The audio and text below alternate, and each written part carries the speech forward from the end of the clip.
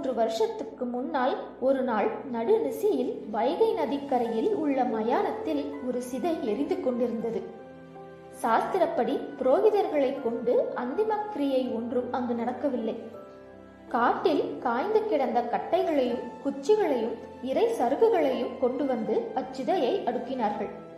மரத்துக்கு பின்னால் மறைத்து வைத்திருந்த ஓர் உடலை கொண்டு வந்து அந்த சிதையில் இட்டார்கள். பிறகு தீ மூட்டினார்கள். காட்டுக்கட்டைகளில் தீ நன்றாக பிடித்து கொழுந்துவிட்டு எரிந்தது.